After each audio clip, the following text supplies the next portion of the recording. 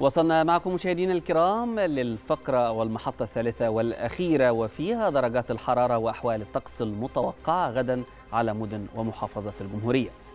فاطمة خليل. شكرا هبة شكرا مصطفى وأهلا بكم مجددا وأخيرا مشاهدينا وقفة أخيرة مع أحوال الطقس.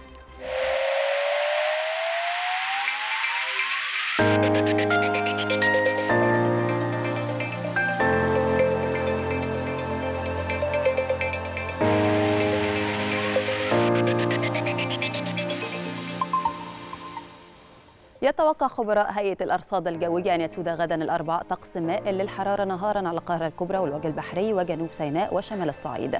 معتدل الحرارة على السواحل الشمالية حار على جنوب الصعيد ولطيف في أول الليل مائل للبرودة في آخره على كافة الأنحاء. وفيما يلي بيان بدرجات الحرارة المتوقعة غدا على محافظات ومدن الجمهورية والبداية دائما من القاهرة العظمى 26 الصغرى 19 اسكندرية 25 18 مطروح 24 17 بورسعيد 24 20 إسماعيلية 27 19 وجوها معتدل. بالنسبة للسويس 26 20 العريش 24 20 طابة 26 19 شرم الشيخ 29 22 الغردقة 30 21 وجوها حار. بالنسبة للأقصر 30 18 أسوان 31 19 الوادي الجديد 30 13 شلاتين 31 22 حلايب 29 21 وجوها معتدل. والآن نستعرض معكم درجات الحرارة المتوقعة غدا في عدد من العواصم والمدن العربية والعالمية.